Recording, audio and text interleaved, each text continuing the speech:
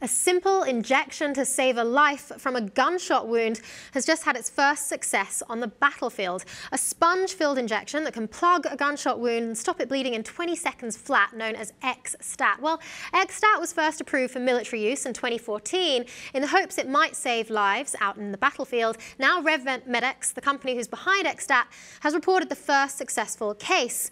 A coalition forces soldier received a gunshot wound to his left thigh, opening up the femoral artery, damaging the femur.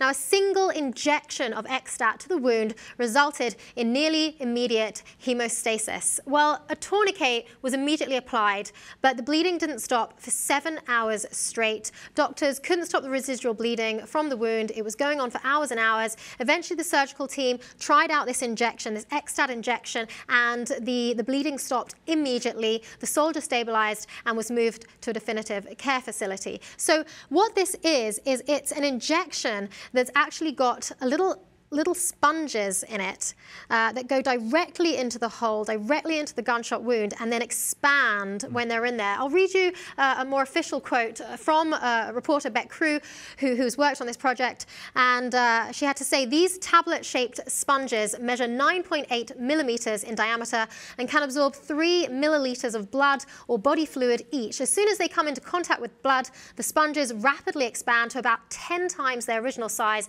and swell to fill the wound wound cavity in about 20 seconds to form a temporary blockage for the blood flow. It seems like such a simple solution. It's mm. like one of those things when you say, why didn't anyone think of this earlier?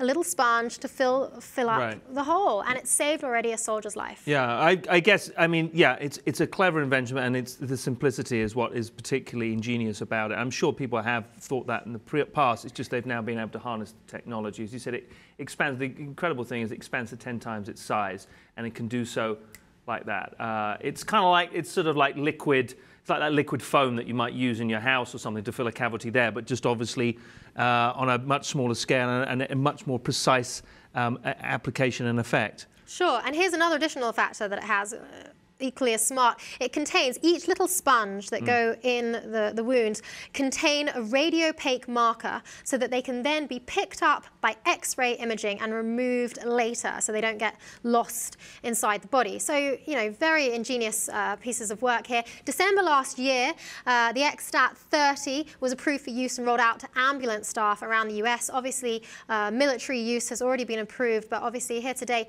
we're seeing the, the first successful case uh, RevMedX is the company responsible uh, for creating XSTAT, the injectable answer to a gunshot wound, and it has saved its first life on the battlefield.